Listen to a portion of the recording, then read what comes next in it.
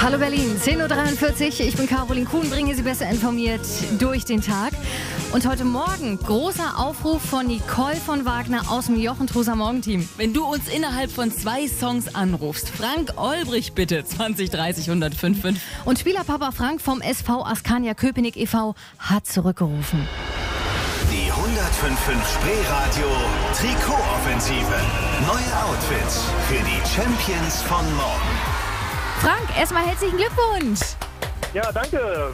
Bin total voller Freude für die Jungs, dass das so geklappt hat bei euch. Mensch, wie hast du denn davon erfahren? Hast du es selber am Radio gehört oder wurdest du angerufen? Habe jeden Tag äh, das im Radio gehört, hatte nicht wirklich äh, daran geglaubt, dass das Glück uns Holz sein könnte und hatte dann aber versucht und ja, hat Gott sei Dank geklappt. Wie wirst du das denn den kleinen Jungs ähm, beibringen? Wirst du da heute in die Kabine gehen und sagen, ey Leute, ihr habt neue Trikots gewonnen oder wie wirst du das anstellen? Die haben am Sonnabend ihr letztes Punktspiel und da werde ich dann wahrscheinlich vor dem Spiel die Kuh dann fliegen lassen und werde dann berichten, dass wir ein Trikotsatz gewonnen haben.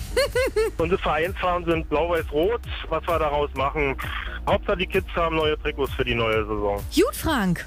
Dann wünsche ich euch ganz viel Spaß, auf dass ihr ganz viele Fußballspiele gewinnt in den neuen Klamotten. Wir wollen es auch hoffen. Danke euch und äh, macht weiter so denn die Berliner Fußballvereine können so eine Aktion immer gebrauchen. Die 105.5 Spreeradio Trikotoffensive. Präsentiert von Intersport Olympia, Berlins Sportfachgeschäft Nummer 1. Jetzt wieder zurück in den Gropius-Passagen und riesengroß im Forum Steglitz. Und wir machen weiter. Morgen geht der nächste Trikotsatz raus. Einfach bewerben auf spreeradio.de und bei Jochen Truss am Morgen um kurz nach 8 auf den Gewinnerverein achten. Und jetzt für Sie im 50-50-Mix einer der besten Songs aller Zeiten. Hier ist ABBA mit Knowing Me, Knowing You. Schönen Donnerstagvormittag Ihnen allen.